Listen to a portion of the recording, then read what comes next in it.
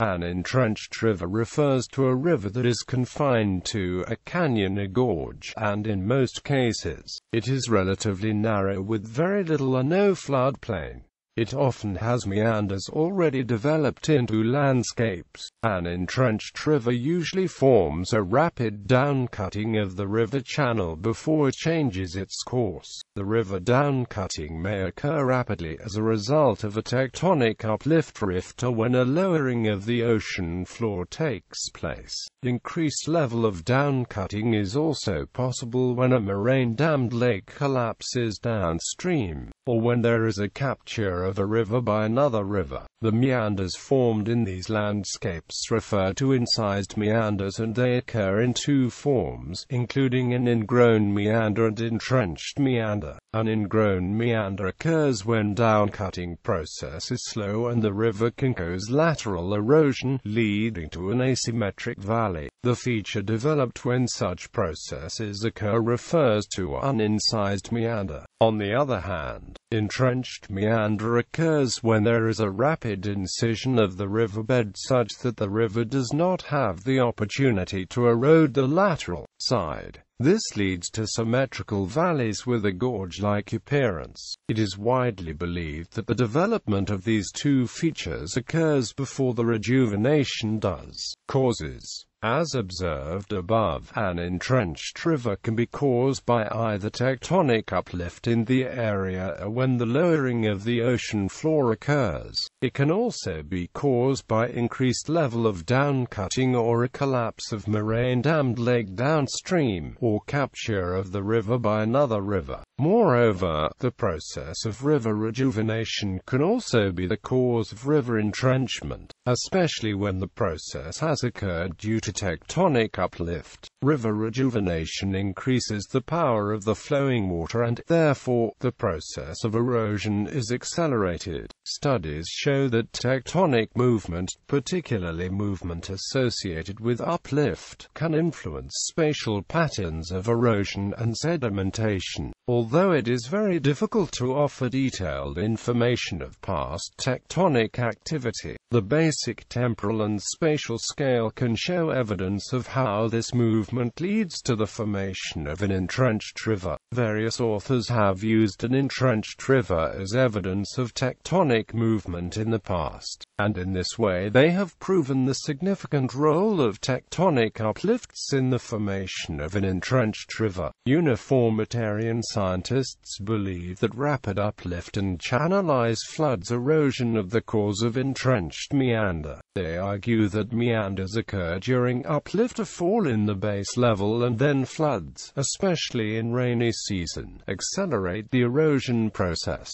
Although this may seem reasonable, they do not specify the base level they equate to be the cause of meander. Specifically, they do not state whether it is the base level of the Colorado Plateau or the ultimate level of the ocean when referring to the formation of entrenched meander in Colorado Plateau. Several studies have cited incised meander a major feature of river entrenchment as an impact of river rejuvenation. On the other hand, scholars argue that incised meanders and entrenched meanders are features formed before river rejuvenation. Incised meanders occur at the base of the river and they occur when the river base level has reduced, thus giving the river enough power for vertical erosion to take place. Some studies also indicate that anthropogenic factors such as clearing of vegetation, development of dams, and reservoir and urbanization are also causes of river entrenchment. For example, gravel mining along the Russian River developed the Middle Reach Pit, which in turn led to the creation of the entrenched river. According to Posa Montia, in the 1950s and 1980s, Russian River had gravel pits and dry creek.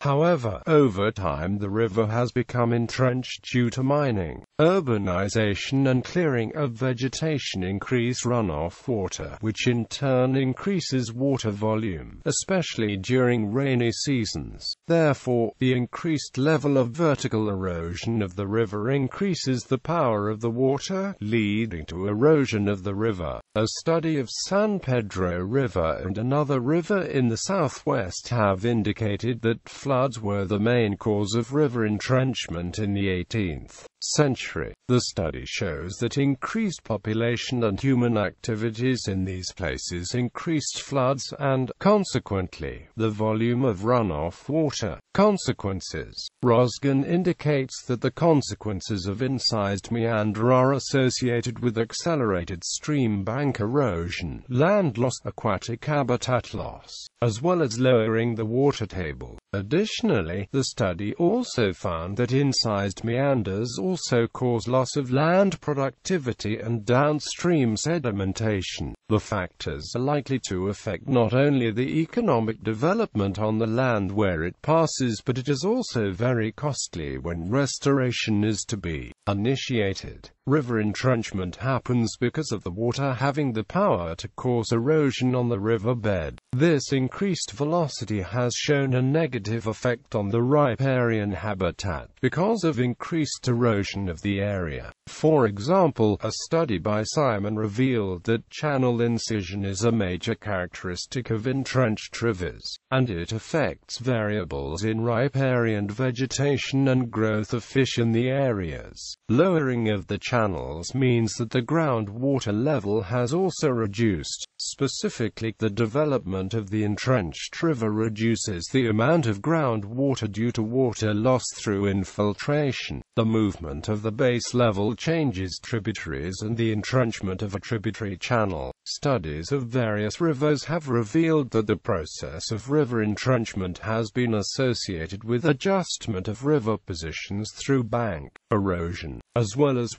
widening. River restoration. River entrenchment causes negative impacts, such as accelerated stream bank erosion, land loss, loss of aquatic habitat, loss of land productivity, lowering of water table and sedimentation of the river downstream. However, in order to offset these problems, channel restoration measures focusing on restoration of the river in its original or to its previous characteristics are available. Though to achieve good results, a good understanding of the river patterns and profile of stable channels is a critical requirement. The process also needs an elaborate procedure to be followed to ensure all important factors and actions are followed. Numerous projects across the globe involving river restoration have been conducted, and a good example of such projects is Maggie Creek, Nevada. The project was completed in